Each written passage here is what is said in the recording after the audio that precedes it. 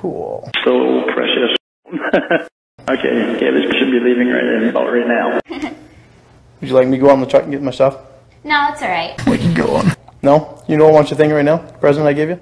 Well, you can go get it in a little bit or something, okay? Cool. Hi, sir. Yell at me, why don't you? So you brought condoms. What else did you bring? I brought My penis. And she is how old? A hundred? You tell her to delete her archives. I didn't want her to get in trouble by her. My penis. If, we ever hang up, then it's. But I, I don't want to let go of your penis yet.